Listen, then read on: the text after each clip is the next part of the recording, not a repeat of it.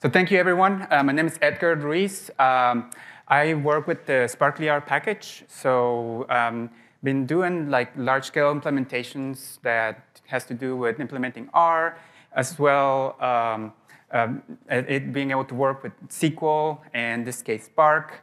And what I'm going to talk about today is uh, its implementation with a new kind of Spark, which is uh, Spark Connect. So I'll start right there. Uh, with Spark Connect, uh, it's something that started in a very, very recent version of Spark, uh, 3.4. In fact, it's so recent that 3.5 literally came out yesterday. So we're talking about like that close. And with Spark Connect, it's not, it's not so much a new way of implementing, like you have like standalone or Kubernetes or Yarn.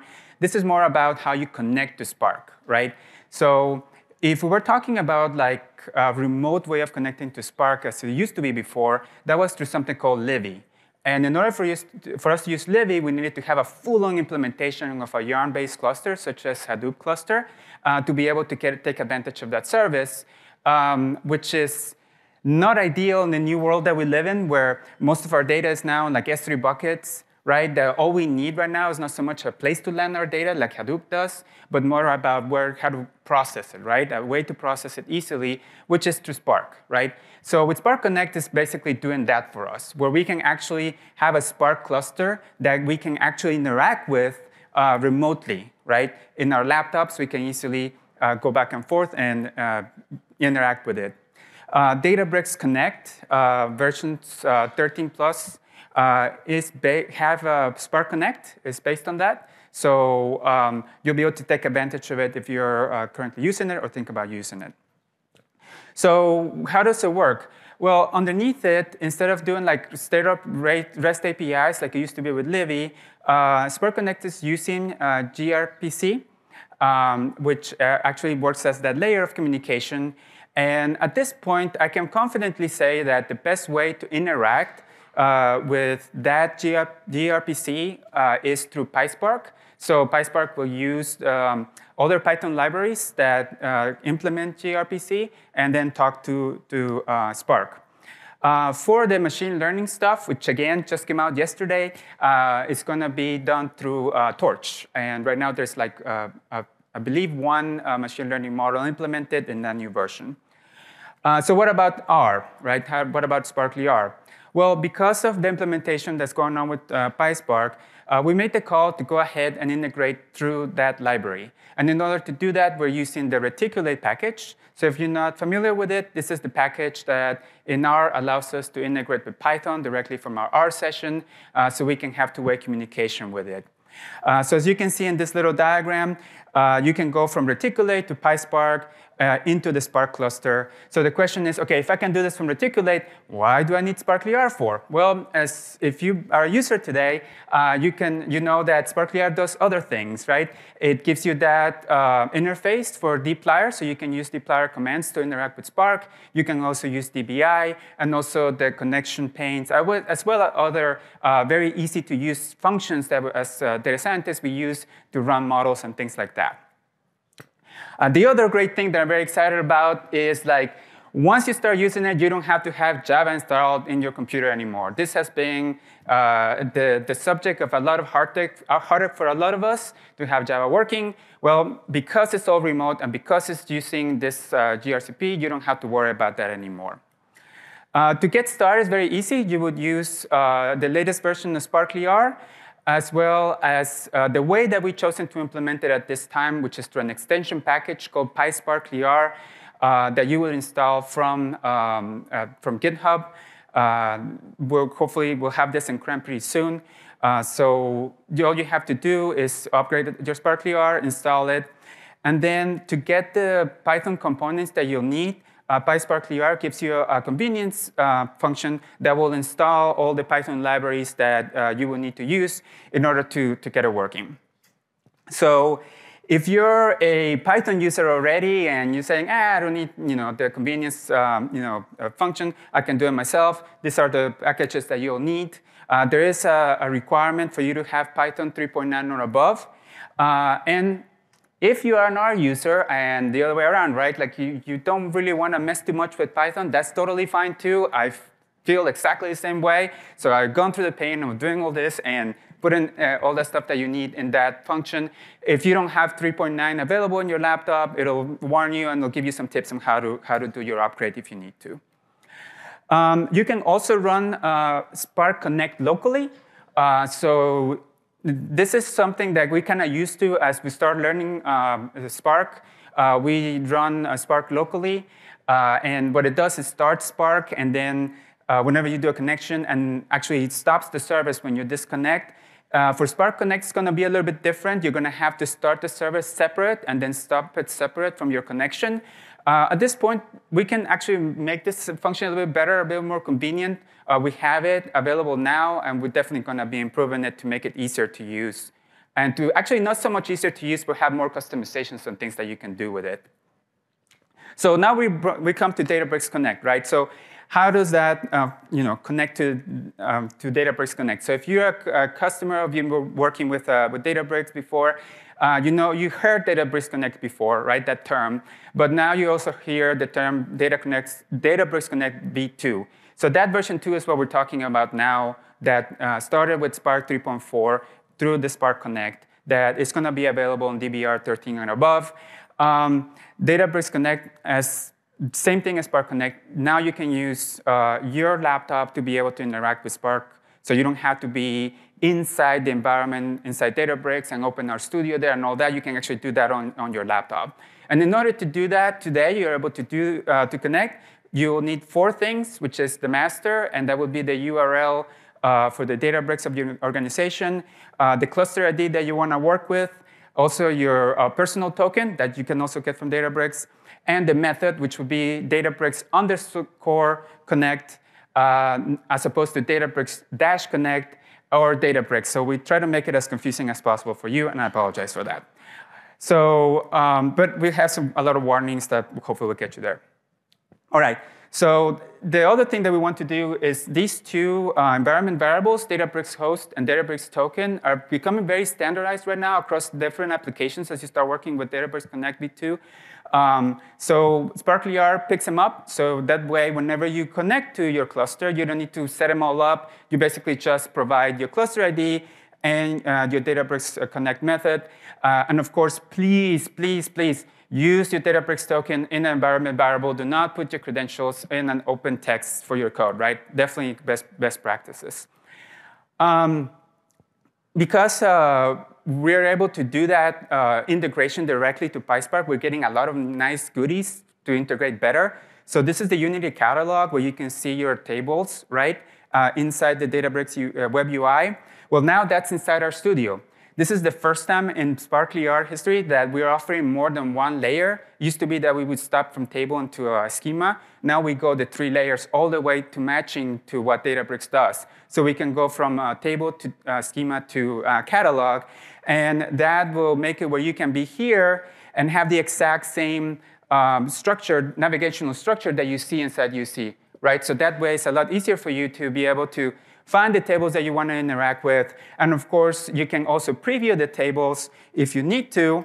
Uh, by just clicking on it, you'll see the first thousand rows. So that way, that give you that visual, you know, first, uh, um, first look of the data. Um, also, accessing the catalog data is very easy now.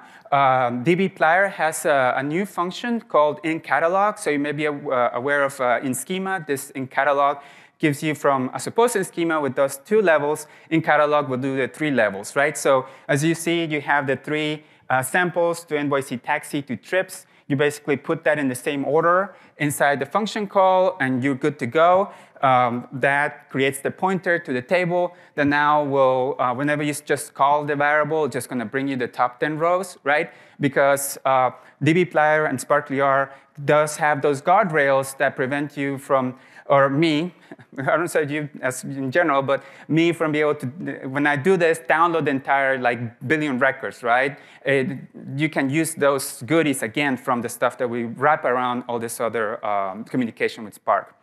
Uh, once you have your, um, your table, excuse me, your pointer, you can um, use dplyr as we do today, uh, the same commands, right? You're able to uh, push all that computation to the cluster. So instead of you having to download the billions of records and then do the summarization in your laptop, you can just write your deep dplyr as you would. You treat trips just as if it was a table that you have locally. And what it does um, in, the, you know, in the background is that it will translate your, um, your dplyr commands into SQL, right? So all the computation, all the aggregation is happening remotely, and you're just getting back the results, which is the exact ideal way that you want to deal with these kinds of data, uh, uh database and uh, big data uh, backends, right? If you want to see the, the query that you're getting, you can use show query, and that will um, provide you the, the, that query.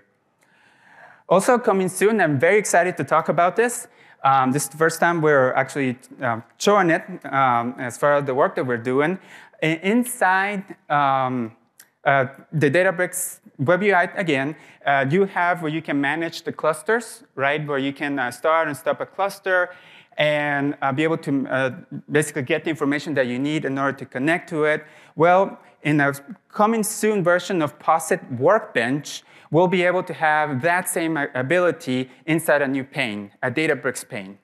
Uh, that pane will match to what you see today in the, in the uh, web UI, where you can start and stop a cluster, and you can also expand the details of a specific cluster and see the same information that, that you would see in, uh, in the web UI, right? So that way, again, you start in RStudio and you end in RStudio, right? So we start with the catalog, and now uh, with, the, with being able to um, uh, administer the clusters by starting and stopping. And this is kind of like my favorite feature, uh, because now the first time that you connect to a cluster, right? Uh, again, remember the only thing that you would need would be the cluster ID. Well, um, the very genius uh, folks that working on this solution, which is not me, by the way, this is the IDE folks, uh, have put a, a, copy button right there uh, for you to get your cluster ID, which then you just paste it in your, in your, uh, in your code, and you're good to go, right? No, uh, no problem. You start, and then in RStudio. And once you connect for the first time, right, then the connections pane kind of takes over from what you've been using before. Um, you'll be able to have that connection uh, so you end your work and you come back tomorrow, you'll have it right there. You click on it, it shows you the code that you used to connect. And then once you say, yes, I want to connect, you go right back to the Unity catalog. So, I mean, this is, this is uh, really exciting for me because uh, I'm sure a lot of folks who are working today uh, with this environment uh, will make, see a lot of improvements when it comes to what we call quality of life as far as interacting with it. Uh, some additional information. Um, there's some limitations right now with Spark 3.4 and 3.5 when it comes to Spark Connect. Um, excuse me. Uh, so what we support, as I mentioned before, we have dplyr and DBI APIs. Uh, the vote command will work, uh, the connections pane like I showed. Uh, also, the uh, uh, personal authorization token will work. We're actually also working, another thing I'm kind of glad to, to announce, on OAuth that will work directly from Workbench. Um, and also, the, most of the read and write commands work today was not supported, of course, especially in 3.4, which is what's uh, like kind of like right now GA available, uh, is uh, ML functions, SDF functions, and tidyr. And although this is kind of sort of not right because pivot longer is available now, although not all arguments. So if you want to try an existing pivot longer code that you have in uh, Spark Connect, um, it will not ignore the, the arguments. It will just tell you that it's not supported. So it's safe for you to try out.